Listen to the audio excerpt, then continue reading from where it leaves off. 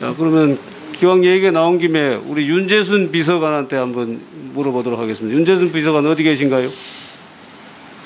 아까 우리 강득구 의원님께서 이거 얘기를 하실 때 어, 지난 두 번 정도 경고를 받은 적이 있는데 그 부분에 대해서 대통령 대변인실에서 기사에 나온 내용과 경위가 일부 사실과 다른 점이 있다 이렇게 에, 발표를 했어요.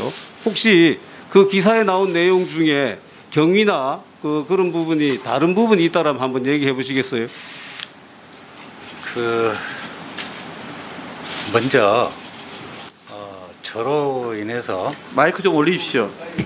가까이 가까이. 예. 예 먼저 저로 인해서 여러 논란이 제가 어, 논란의 중심에 서 있고 그 다음에 여러 국민들께서 염려하고 어, 그 다음에 우려하시는 부분에 대해 충분히 어, 제가 느끼고 있습니다.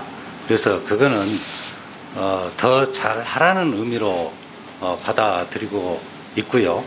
어, 지나간 부분에 대해서는 어, 어떤 식으로든 그게 국민들에게 상처가 되고 어, 그 다음에 어, 불쾌감을 느꼈다면 그거는 당연히 제가 어, 사과를 드려야 맞다고 생각합니다.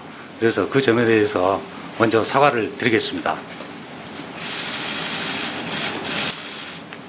예, 그 다 음에 의원님께서 말씀하신 그 사실과 다른 부분이 있다라는 부분은 어, 그 점에 대해서 어, 사실은 첫 번째는 제가 조사를 받은 적도 없습니다. 사실은 그 당시 20년 전의 일이고요. 그 다음에 두 번째 부분에 대해서는 사실관계가 다소 앞뒤 선우가 바뀐 점이 없지 않아 있습니다. 그러나 그 점에 대해서 제가 구차하게 어, 변명하거나 그러고 싶지 않다라고 말씀을 드렸습니다. 그리고 사실관계는 분명히 다른 부분이 있다. 그러나 제가 그 부분에 대해서 미주알 고주알 설명을 드리면 또 다른 불씨가 되고 그래서 그러한 설명은 안 하는 게 적절하다라는 말씀을 드린 적이 있습니다. 네.